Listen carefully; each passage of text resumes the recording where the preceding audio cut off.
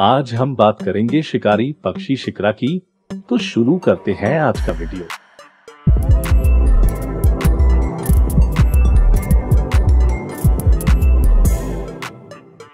शिकरा एक छोटा बाज है।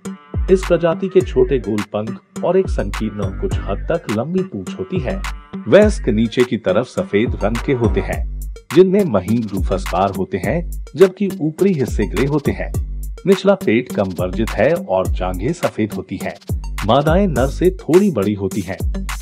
शिकरा जंगलों, खेत और शहरी क्षेत्रों सहित कई आवासों में पाया जाता है वे आमतौर पर अकेले या जोड़े में देखे जाते हैं फ्लैप्स और ग्लाइड्स के साथ इनकी उड़ान विशिष्ट है उनकी उड़ान आमतौर पर छोटे पक्षियों और गिलहरियों के बीच खतरा बनाती है वे कृंतकों, गिलहरी, छोटे पक्षी छोटे सरीसृप मुख्य रूप से छिपकली, लेकिन कभी कभी छोटे सांप और कीड़ों को खाते हैं।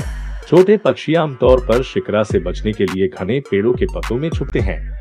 बब्बलरों को एक शिकरा को भगाने के लिए एक साथ रैली करते देखा गया है। वे उभरते हुए पंखों वाले दीमकों को खाने के लिए ज़मीन पर उतरते हैं। छोटे चमगादड़ों का शाम को शिकार करते हैं। भारत में प्रजनन का मौसम मार्च से जून तक गर्मियों में होता है। घोसला घास का एक मनसा होता है। दोनों नर और मादा घोसला बनाने में मदद करते हैं। ये घोसले के लिए धातु के तारों का उपयोग भी कर सकते हैं। सामान्य अंडे तीन से चार अंडे होते हैं, जिनसे 18 से 21 दिन सेने के बाद बच्चे निकल जाते हैं। शिकला भारत और पाकिस्तान में बाजों के बीच एक पसंदीदा पक्षी है, क्योंकि इसे आसानी से प्रशिक्षित किया जा सकता है। ट्वेंटी और नाइन में भारतीय नौसेना के हेलीकॉप्टर बेस का नाम आई आईएनएस शिकरा रखा गया था।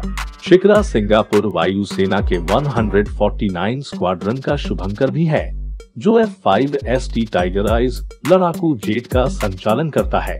प्रसिद्ध पंजाबी कवि शिव कुमार बटालवी ने एक खोए हुए प्यार के बारे में मैं एक शिकार यार बनाया नामक एक कविता लिखी, जिसमें उन्होंने उसकी तुलना एक शिकरा से की।